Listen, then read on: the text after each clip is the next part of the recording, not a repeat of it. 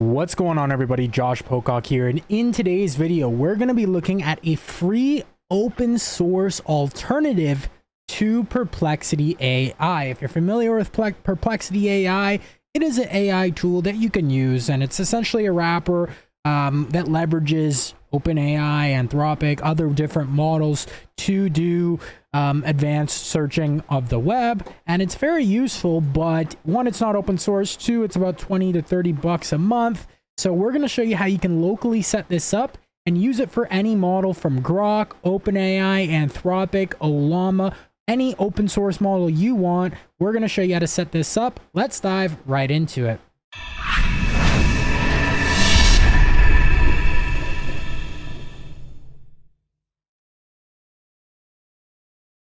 All right, guys, so the tool that we're going to be using that is an alternative to Perplexity is called Perplexica. And it's an AI-powered search engine. And just like the name Perplexica, Perplexity, it's essentially somewhat of a clone. It's not a full clone, obviously, of Perplexity, but you'll see the UI in just a second. And it is very, very similar, right? That's my first thoughts when I saw this. I mean, you, you get it when you hear the name. It kind of makes sense. But um, first off, before like I'll, I'll go through uh, all the links that I'm going to mention here are in the description down below. But um, you can read up. I'm not going to go through their whole GitHub here, but it really just kind of dives into what the features are. And if you're using Perplexity now, which personally I am, I'm still paying for it. I've been paying for it. Um, you'll you're probably familiar with a lot of these features that I'm going to show you because it's literally just they're trying to clone Perplexity here. But uh, we got Copilot mode, which is in development, normal mode.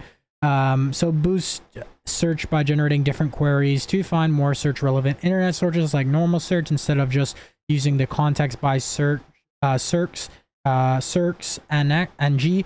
So that's like an open source searching uh, tool, kind of like an alternative to Google. And we'll get into that in just a second, how the architecture of this tool, Perplexica, is built. But uh, then there's normal mode, focus mode, all, all mode, uh, writing assistant mode, uh, academic mode, so searching like through academic papers, YouTube search mode, Wolfram Alpha search mode, Reddit search mode. So it's very similar to Perplexity. Like here's Perplexity, we got focus mode, we got uh, pro mode, aka copilot mode.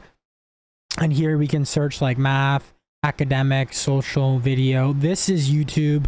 Math is Wolfram um, I believe academic is like all the arXiv uh, papers and whatnot, and so it's it's exactly you know really what it they're trying to just clone it. Um, so anyways, the installation, we'll get into the installation in just one second. I just want to go over here to the architecture just to quickly go over what this tool is actually built on because it's a, it's, first off, it's, it's still fairly new. Um, they're, they're developing it. So there may be some bugs here and there, but, um, I mean, it's been out for, I guess, like it's been on, I guess, for a long time in AI years, which is, I mean, obviously AI has been around for a while, but in just terms of like the new boom of AI and how quickly things develop, like there's new developments every single week. So it's sort of uh, expedited in terms of like time goes by a lot quicker. Um, so yeah, it's been around for, I don't know exactly when it came around, but it's been out for at least this year, um, a few months ago, um, maybe even more. And anyways, so Here's the architecture. It consists of a few following key components. User interface of the UI, a web-based interface that allows users to interact with Perplexica for searching images, videos, and much more. It's built on Next.js, um, so that's good.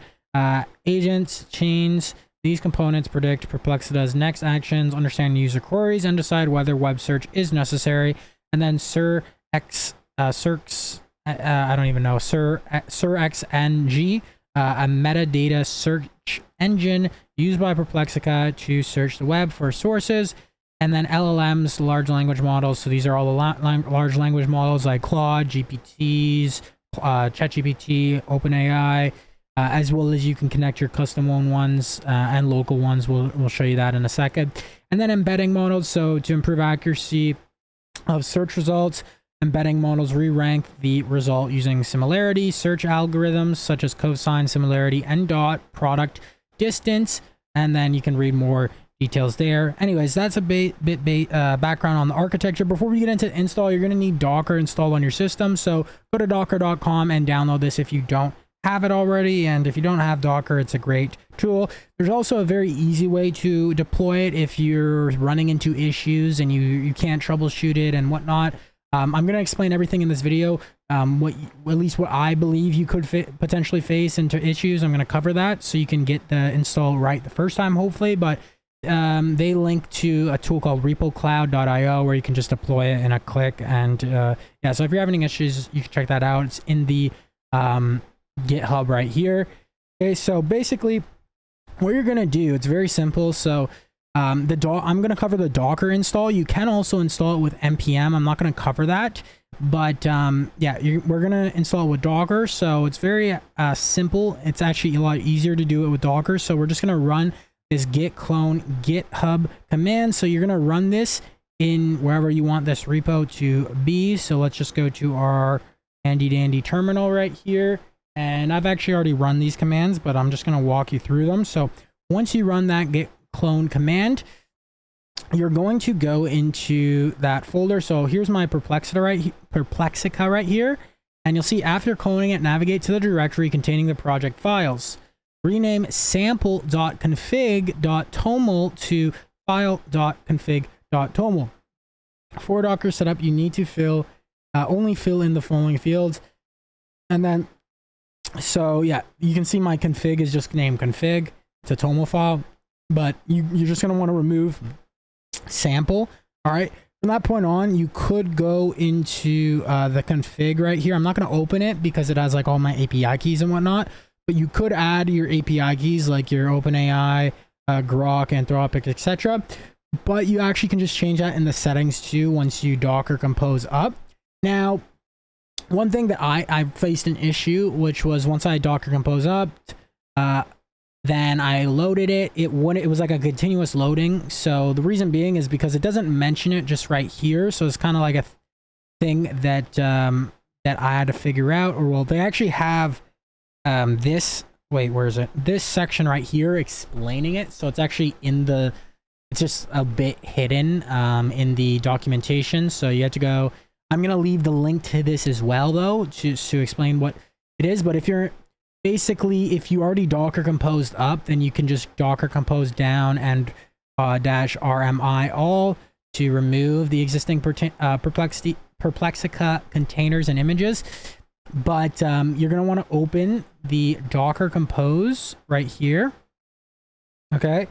And the Docker Compose YAML file. And basically, all you're going to have to do is in the section right here, you can see where it says replace IP of 127.0.0.1 with the IP address of the server Perplexica, Perplexica is running on in these two lines. So this is like what it looks like before you replace that. And you can see I replaced it with um, localhost, right? So I'm just using my local host. And you can see here, this is the new um, next public API as well as next public, uh, public WS URL, which is localhost port 3001. We have, yeah, the Docker Compose uh, .yaml. You can check that out. And if you need to make any other uh, changes, configurations with a port or anything. If those ports are taken, you could do that. But other than that, once you're done that, you're going to save the Docker Compose YAML. And then you're just going to rebuild and restart Containers. So Docker Compose up dash D double dash build. All right. So I would just run this command. So really like you don't have to uninstall the containers. Well, I don't know if this is something that uh, I don't know because I I believe some people weren't experiencing this, but you know you may have to. Uh, this is something you may have to do. Um, if you do this, then you won't experience the issue that I was facing. So uh, you could just try in doing it right from the start. Com Docker Compose up uh, dash D and see if you get the issue. If you do, then you can remove this and then just change this, or you could just do this from the start and you should be good to go. Okay, there's also a bit of a different situation for Mac and Linux. So they cover that down there. But like I said, this is going to be linked down below, as well as all the other links I've talked about, um, which is just the other GitHub and whatnot. So also too, guys, you're going to need to install, well, if you're going to want to run local models, you're going to need to install Ollama if you haven't already. And uh, once you install Ollama, you can pretty much uh, download whatever, obviously whatever local model you want to run. So whether it's Qwen 2, DeepSeek Coder, uh, Llama 3.1, the new meta model. So unless you have like a crazy machine, you're going to pretty much probably only going to be use, able to use the 8B model. Um, so you just do Ollama run Llama 3.1 once you actually install Ollama. Okay, and then I'm still going to show you how to you can can run the 70B model and the 405B model as well in just a moment. But one thing too, just because um, the Perplexica uses an embedding uh, embedding as well, uh, one thing you're one command you're going to want to run, you're going to want to run ollama pull nomic dash embed dash text. Okay, that's going to be useful if you're when you're using Perplexica and you're using your Ollama and you still want to have Ollama embedding. Um, we're going to show you that in just a second. Okay, so once you actually get the install going, if like I said, if you did are experiencing issues or you just do this from the start, use um, the whole uh, exposing Perplexa to a network. Make sure it's your IP.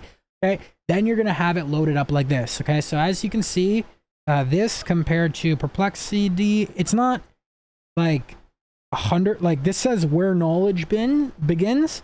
A perplexica says research begins here. So it's like complete uh replica. Um it's not like to be quite honest like it's probably not as nice user interface. Um some maybe you like it better. I don't know. Like it is i do like the black. I just kind of like some of this. Um but some I don't know. let me know what you think compared. What do you like better for the UI? Do you like Perplexica or Perplexity? Let me know in the comments down below. But you'll see it's very similar. We got like our history here. We got search here, or so library. We got uh, search. Um, now we also have settings here, so we'll get into that in just a second. And then, like I was saying before, we have Copilot, and we also have all academic writing, Wolfram Alpha, YouTube and Reddit. So we have all those search options and I'm going to show you a comparison because I have Perplexity Pro. I've been paying 20 bucks a month for it for the last, I don't know, few months just because, I don't know, I just, I'm paying for a bunch of AI tools, right? Some people, you know, whatever. So I, I have been using it and I do still use it a lot, but um, I'm going to be trying out Perplexity a little bit more and kind of seeing over the course what I prefer for results, like what I think, what I think I could, um, yeah, like if there's certain situations when one is stronger or whatever the case might be. But anyways, so um, what you're going to do is you're going to go into your settings here, okay? And I'm going to show you how you can set Perplexica up with Perplexica up with pretty much any model you want. So um, if you uh basically so here you'll see like Ollama, Groq API key, Anthropic, and these are like AP one, these are API keys I'm just using for the video and they're cut off anyways. So and I'm going to just for safety, whatever, I'm gonna delete them after. But um these are the yeah, so you can put your API key here. So like OpenAI API key Ollama.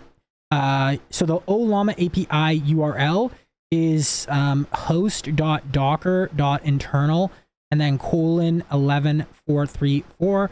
So that probably already will be there. Um, but yeah, if you need to put that there, you can put that there. Um, I've seen some people say that depending on like the system and this and that, some people's are is localhost, uh, like this local host. So if it's not working for you, try that. But it most people will probably be this. And yeah, so you can put your API keys here. Anytime you change something, you can just press this to refresh you have your embedding models here. So like, as you can see, I selected Ollama and the nomic embedded text is right here um, for the embed model. Um, and then of course we have dark and light theme. Obviously we're going to be using dark theme because we're not psycho. I'm joking. But um, anyways, so chat model provider. So you could select OpenAI, for example, and then over here, you could select like Turbo, GPT 3.5 Turbo, GPT-4, GPT-4 Turbo, Omni, Omni Mini. You have those options. Um, and then you could select OpenAI embedding and do like whatever embedding. Or you could obviously select Groq. Okay, with Groq, you have a bunch of options. Like you could do Llama 3.18b and you're going to get way faster inference time. Or you could do 70b, right? Groq currently doesn't have the 405b, um, 405b, right? So um, yeah, but you do also have Mistral, Gemma, etc. So there's Groq. And Then there's obviously Anthropic, so Claude Sonnet, 3.5 Sonnet, uh, really good for coding, etc. Um, and then Ollama. So with the um, oh no, sorry. So Ollama, if you do Ollama, yeah, as long as you just put that URL here, then you should be good. But the one I'm going to show you to get the 405B model, I've covered this in other videos. Like when I showed, I did a video showing you guys how to get 405B within continue.dev on your VS Code. So if you want to check that out too, if you're like want to use that for coding, check out one of, uh, you can just search continue.dev, Llama 3.5 or 3.1 on my channel. You'll find it. Basically, we're going to be using together.ai to do this. So you can just sign up for together.ai. I'll leave a link down below.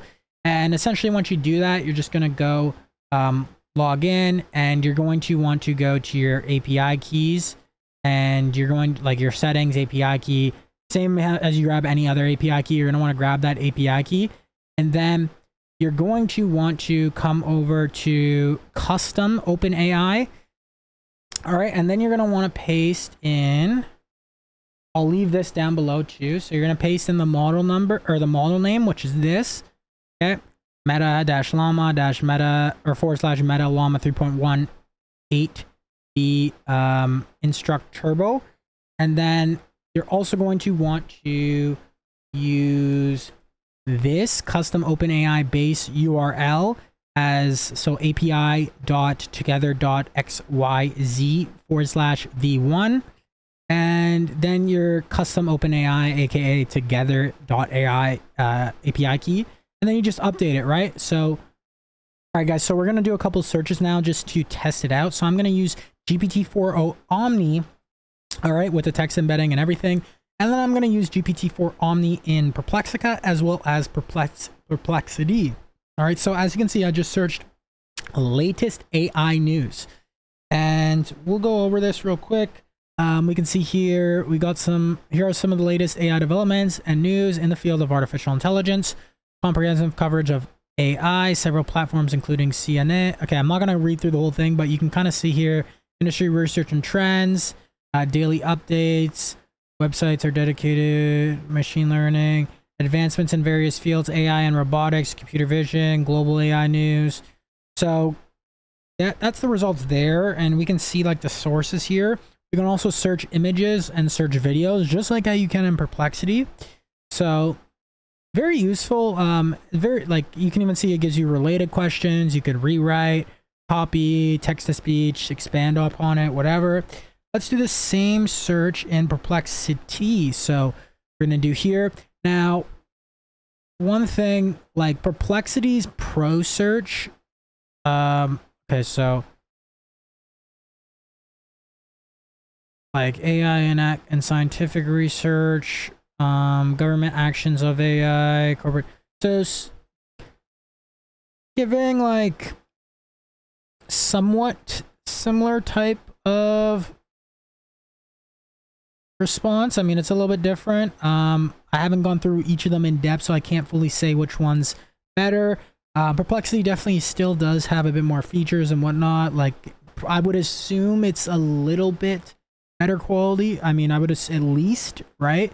Maybe even more, but um, it's definitely, uh, Perplexity definitely has a lot of potential. I'm excited about it, and it's an extremely useful tool, and it's 100% free open source, so you really have no harm using it especially if you're using it with local models or llama like it's definitely uh, can be very powerful also too if you don't want to pay for perplexity i mean perplexity luck like they do have a free plan at the end of the day so the free plan actually isn't that bad but um, you can't use it with higher quality models the the one thing about perplexity is i do still like like if you use their pro search and you ask it like a complex question with like multiple different steps it will do multiple queries on it and it's pretty good at that. So, I, I mean, yeah, I, am still gonna use both at the end of the day, but um, this is definitely if I wasn't gonna pay for Perplexity 100%, then I would just use this, right? And I'm still gonna use both because I think this Perplexica, it, Perplexica is a really good tool. But other than that, guys, if you're new to the channel, uh, we upload videos every single day on AI, automation, AI news, marketing, sales, things to grow your business with AI.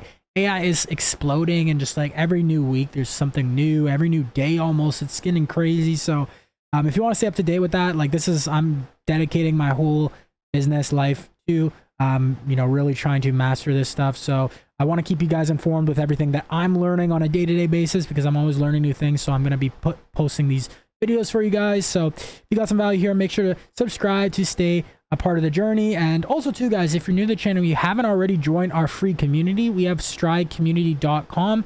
Going to be doing more free resources in there, etc., behind the scenes stuff. But if you want to join there, we have about 750 to 800 members uh, maybe even more now in our free Facebook group and Discord channel combined. So you can join there 100% free. Link in the description down below. You can network with myself as well as other like-minded AI enthusiasts, entrepreneurs, developers, uh, marketers, business people, uh, salespeople, whatever the case may be. Also, too, guys, if you haven't already checked out my book, Client Acquisition Code, I have a full chapter in here on prompt engineering, and this book is extremely valuable if you need uh, clients for your business. It gives you the ins and outs of everything from e cold email uh, running paid traffic, paid media, Facebook ads, YouTube ads, etc. Uh, definitely check that out if you're a business owner or if you're a marketer or whatever the case may be, salesperson even. Um, a lot of cool gems in there. Other than that, guys, I will see you in tomorrow's video. Let me know what your thoughts are in the uh, comments down below about Perplexica, about Perplexity. And uh, anyways, guys, keep hustling, keep grinding. And of course, guys, accelerate your stride. Take care.